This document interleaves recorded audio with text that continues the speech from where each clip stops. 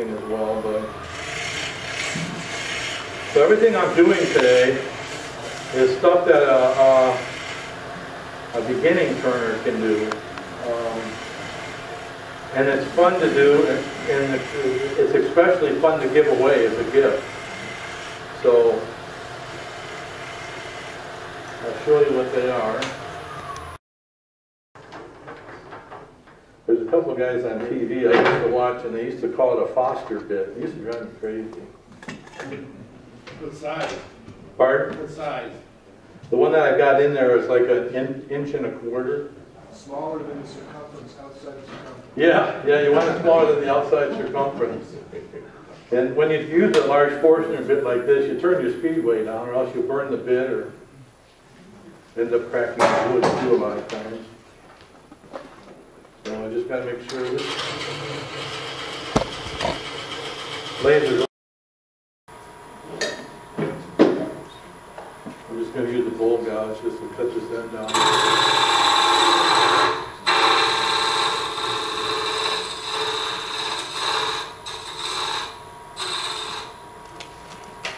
Okay. Pretty good. This here's a little depth gauge that I made. It's real simple to make. I made it so that the hole is tight. Then I'll- when I stick it in here and I bring this forward, that's my depth of the hole right now. So I'll take this and uh, put a little mark on the outside.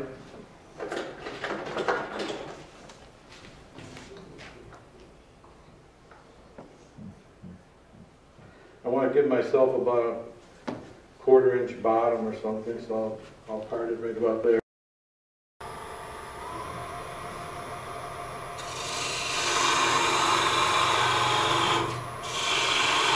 When I part, I, uh, I will usually make a hole that's wider than my part, because if you don't, you're gonna start burning your tool up if you're going in pretty far, so I'll take and part on both sides until I get down to where I want it.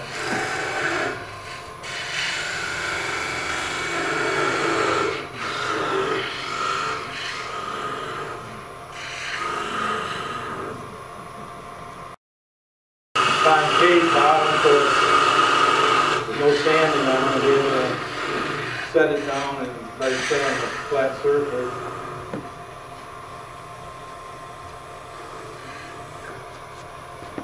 Okay. Looks like just a little rough, but I'm gonna break the rules here for a second, just do a, a little bit of knockoff sanding, not really like dust sanding, so just to knock these edges down. How little of that? I, I, I went about, uh, mm, uh, just under a quarter inch, I guess three sixteenths or something. And it's just enough so that I know that that's where the, the bottom is there. But I'm also going to put, um, oh, not that much. So I'll probably be parting it here. I'll show you, this will all come to fruition in just, I put it on there and I ride the bevel, and then I just roll it around. Okay? What I'm trying to make now, my inclusive angle will be 90 degrees when I'm all done turning this angle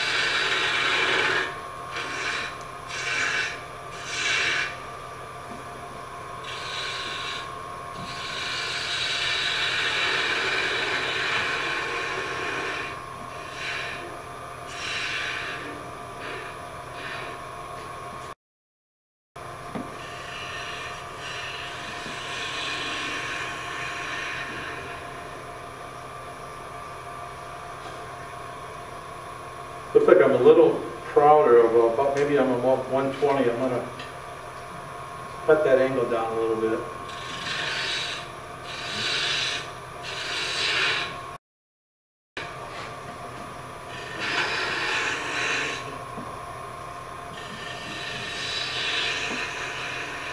Can you guys see okay?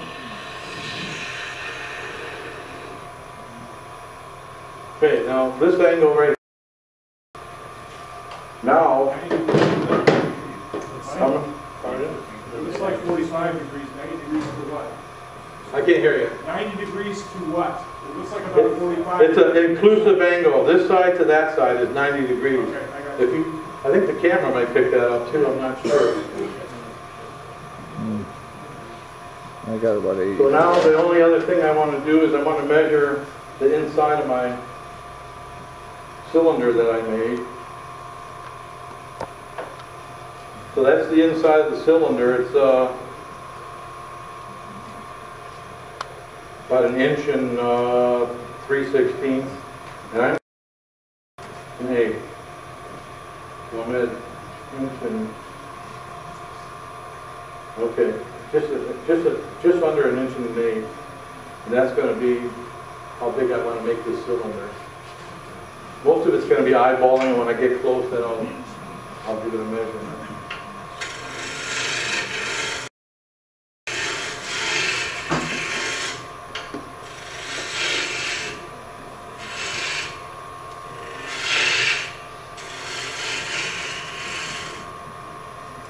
Most of this stuff can be done like with a parting tool, if you want to use the bowl gouge or a detail gouge or uh, any of those, it's fine. I like to use, bowl gouges to me are my most comfortable tool because I turn so many bowls. So I still got to take off about, looks like close to a quarter inch, so.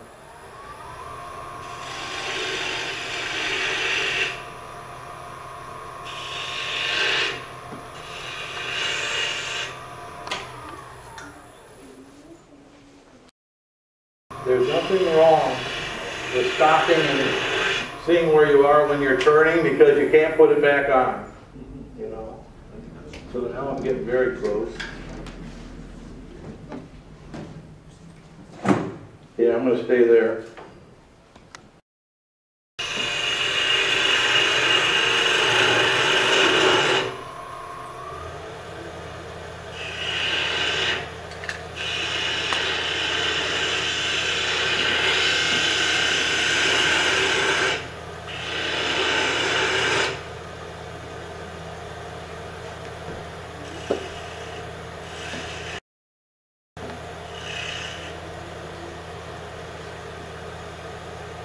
Okay, no sanding, so I'm gonna try to get a little closer with my tool rest there. Come across nice and easy.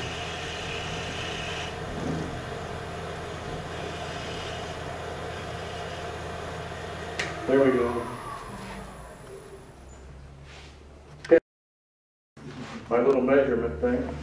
I'll just grab this for now.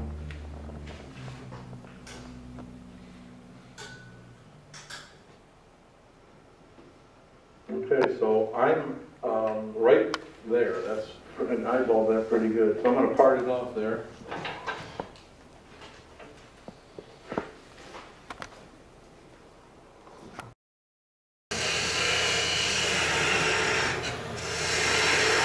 Again, I'm making my parting wider than it should be, just so that I don't burn my tool so bad. A Lot of friction when you're doing that.